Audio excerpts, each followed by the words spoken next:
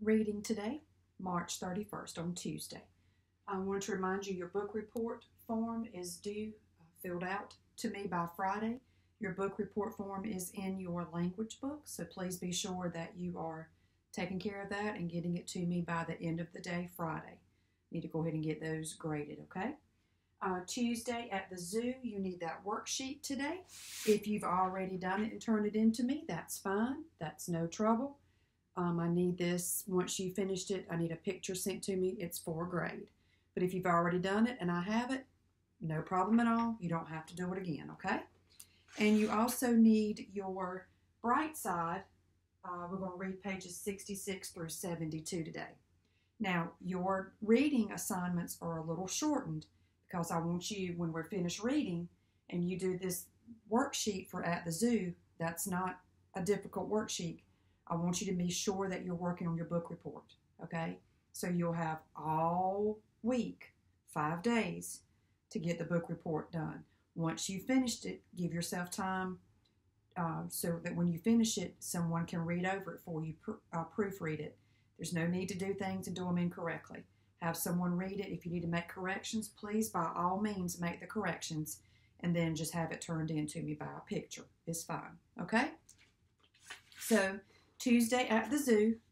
And again, if you've done this, it's fine. You can just sit tight for a second. Um, you are going to read the little short paragraph and answer each question with a complete sentence. So please be sure. Number one, where did Pam go? Zoo. Mm-mm. This is practicing writing in complete sentences, beginning with a capital letter and ending with punctuation. A who and what did they do? A subject and a verb. Okay? So that's that for you there. Uh, so you have that. We're going to, um, you can hang on to that or you can pause the video and do it. It doesn't matter to me. If you want to pause, go ahead and do that. And then you can pick up with us with Bright Side. Okay? So if you're ready for Bright Side, we are going to kind of go over this story yesterday. We read um, through it yesterday.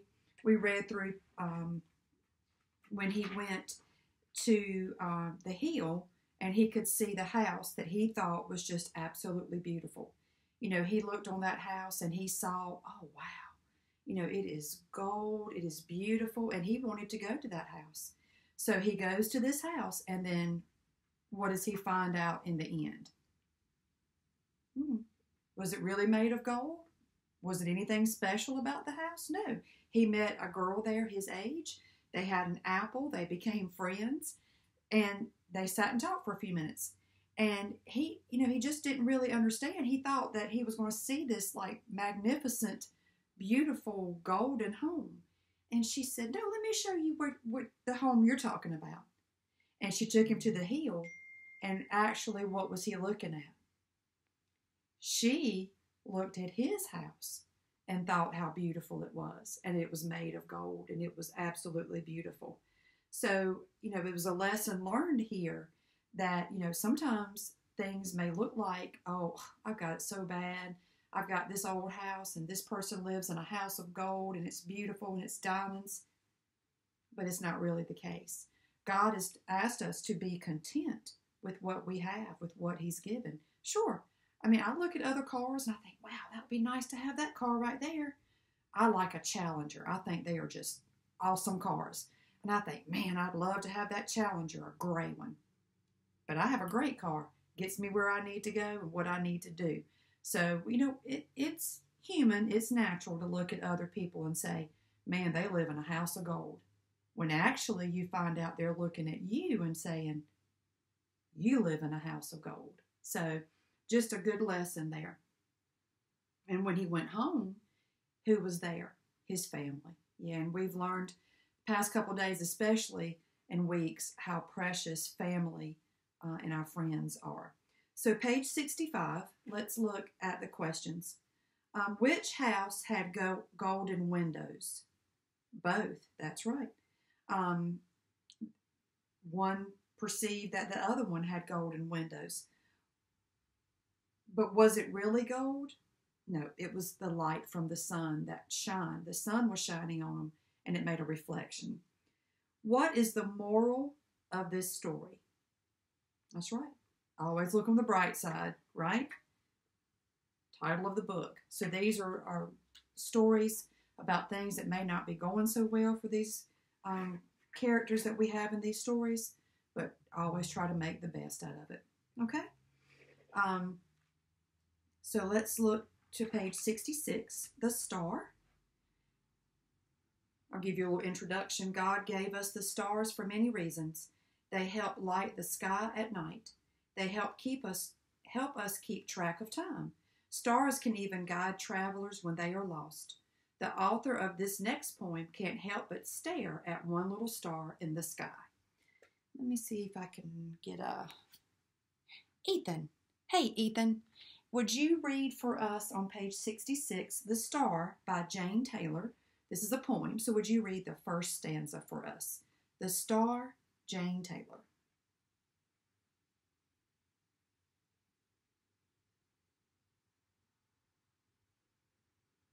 It's hard to speak this poem and not sing it, isn't it? Because we know the tune to it. When the blazing sun is gone, when he nothing shines upon, then you show your little light, twinkle, twinkle, all the night. Let me get another reader real quick. Let me grab one here. Kylie. Hey, Kylie. So if you'll read the third stanza for us, then the traveler.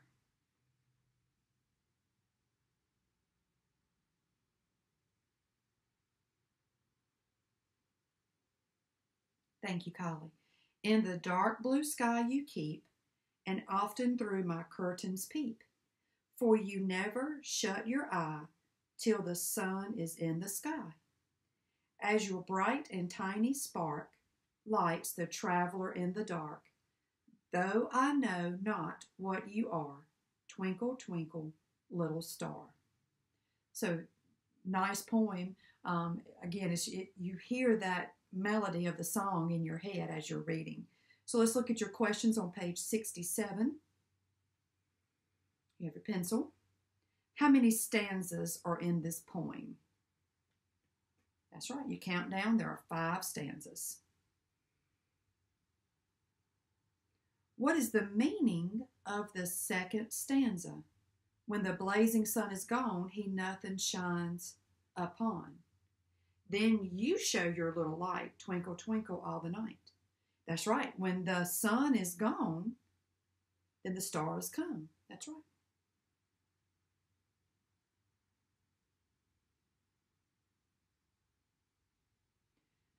What is the main idea in the third stanza?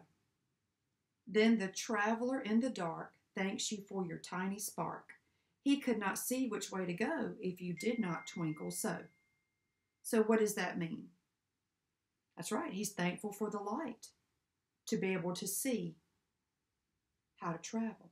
It guides his way.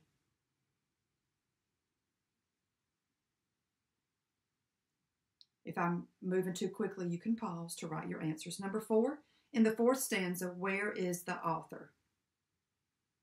In her room, probably in her home. Yep. Um, you know, looking out there. Okay. So let's turn over to page 68. Um, 68 is a play, and oh, I wish we were together. Whenever we can go back, we'll pull out this book and we'll have this play together. Um, dig deeper at the top. This selection is a play. A play is divided into acts, and the acts are divided into scenes. We've done these before. Acts and scenes often change when the character or setting changes. As you read this play, ask yourself what changes from one act to another, what which characters appear in each act, and why the scene changed. Well, why is the scene going to change? Right, because there's different things happening at different places. You don't want one story at one place.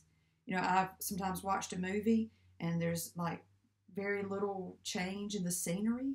It's like maybe a, you know one particular house or you know that's yeah, kind of gets kind of kind of hard to watch. You know, kind of lose interest. But when it you know um, changes to town and then back to the house and then maybe at a different, you know, it keeps your interest. So obviously you want different um, scenes when different things happen and different people. Okay. Hickory Dickory and Dock, adapted from L. Frank Baum. This story is based on the poem Hickory Dickory Dock, found in Mother Goose's Nursery Rhymes. L. Frank Baum, or Baum, decided to turn this and other silly rhymes into lovable and exciting stories. So you have Hickory Dickory Dock, Act 1. So we're going to read a couple of pages here. We would have a narrator, and the narrator kind of gives you kind of an overview of about what's about to happen. They're not really involved in the scene, just kind of giving you a little information. Within the hollow wall of an old brick mansion, away up near the roof, there lived a family of mice. Mamma Mouse liked this snug little home because the draft that came through the rafters made it cool in summer, and they were near enough to the chimney to keep warm in wintertime. Besides the mama Mouse, there were three children named Hickory and Dickory and Dock. Then this will be another narrator, but that'll be me. Mama Mouse was a brave mouse and knew that it was her duty to find food for her little ones.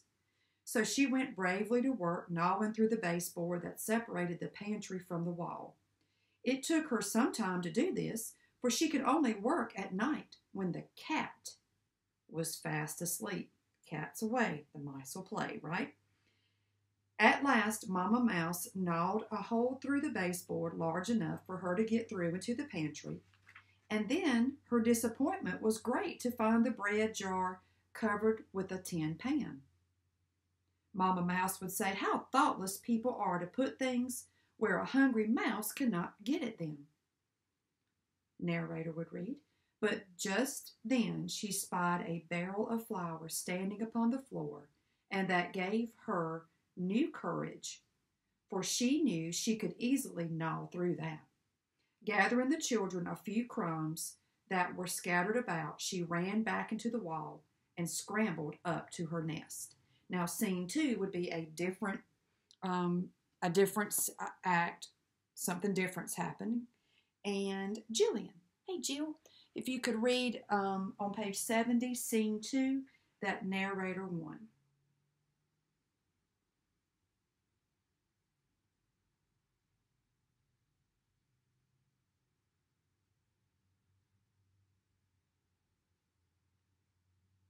alongside. Mm-hmm.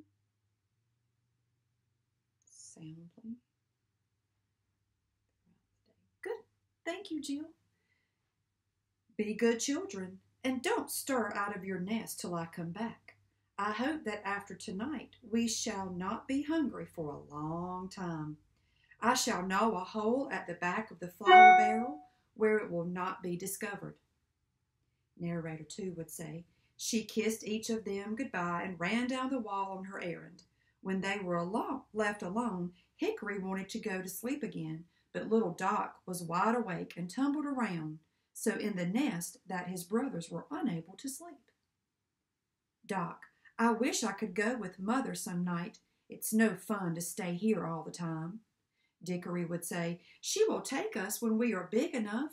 And Dock, We're big enough now and if I knew my way, I would go out into the world and see what it looks like.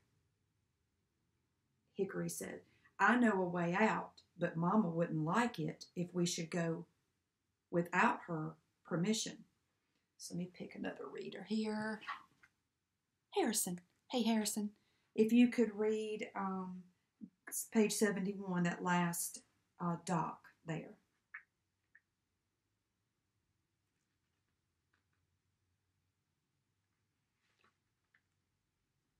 Thank you. Dickory said, He is right. Let's go, Hickory. Hickory says, Well, I'd like a little stroll myself. So if you'll promise to be very careful and not get any any mischief, I'll take you through the hole that I have discovered. Okay, we're going to stop there, and tomorrow we will pick up with Act Two. So I know that's a short lesson, but you need to take some time, work on your Tuesday at the zoo worksheet. It's going to be simple have someone clip, uh, take a picture of it, send it to me, and then you need to spend some time working on your Maple Tree book report. That will be a test grade. Yes, it's a grade for reading. Okay, so we're going to um, have our next subject, uh, which will be language.